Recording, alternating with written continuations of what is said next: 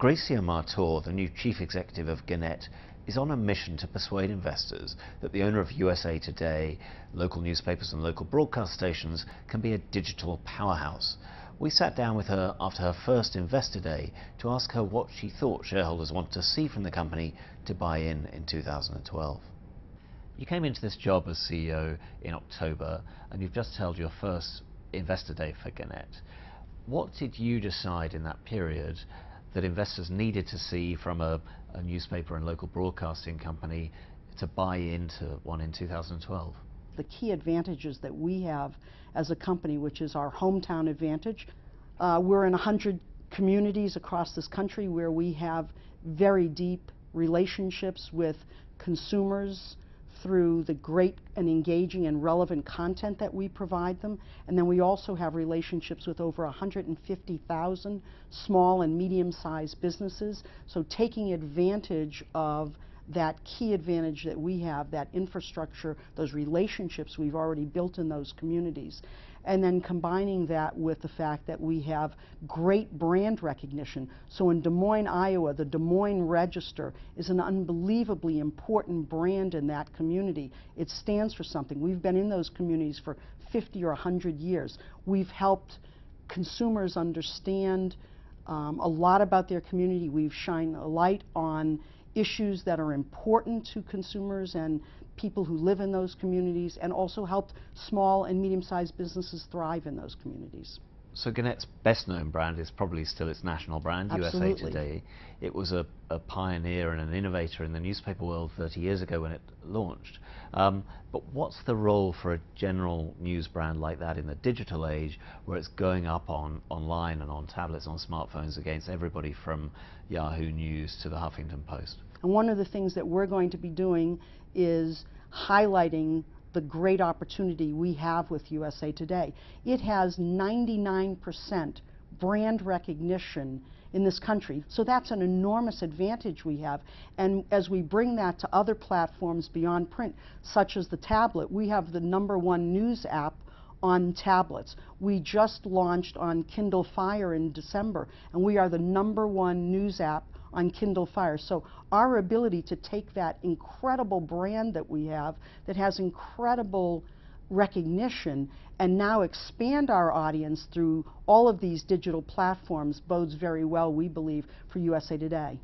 So more broadly, you know, what, what advertising trends are you expecting to drive the business? You, do you see a big acceleration of the decline in print?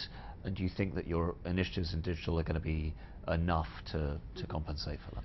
As we talked about yesterday, we do believe that print is in secular decline.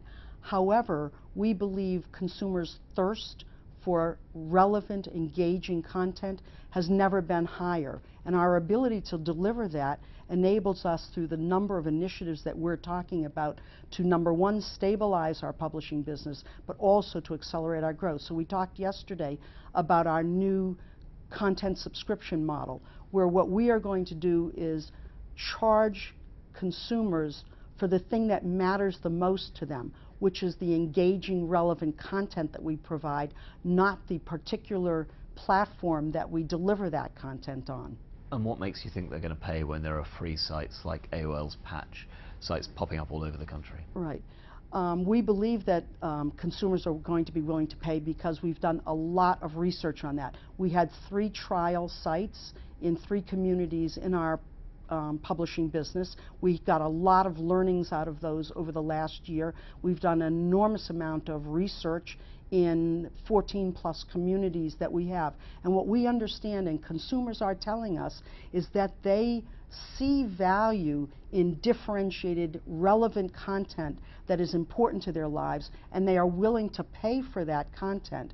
We believe that those relationships we've had in those communities, the work we do in those communities, the kind of content that we provide by being part of the fabric of those communities sets us apart from the patches and everybody else who are just beginning to become known in those communities. We have 5,000 journalists across our company that are deployed who live in and work in those communities and who understand them better than anybody else.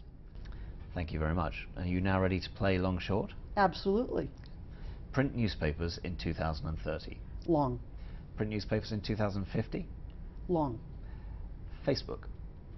Long. Pinterest. Uh, hold. Groupon. Short. Mitt Romney. um, long. US job creation. Long. UK job creation. Short. The London Olympics. Long. And Jeremy Lin. Long. Thank you very much. Thank you.